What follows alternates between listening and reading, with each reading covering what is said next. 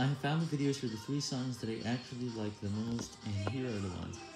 I searched for some of the lyrics of those songs, and when I found them, I found the videos that I was looking for, which was why, but the problem is that not many people search for these, only a couple of hundred people every week, which is why they made tens of thousands of views, but no more than that.